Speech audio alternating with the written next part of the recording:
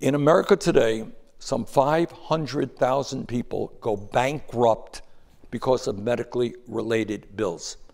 In other words, you end up in the hospital, God forbid, with a serious illness. You come out with a $200,000 bill, you can't pay it. You go bankrupt. Your credit is shot because you can't pay off your medical bill. And by the way, top of all that, our life expectancy in the United States is lower, significantly lower than many other countries, despite all that we spend. So my thought is, and this is one I feel strongly about, I understand that the NHS is struggling now.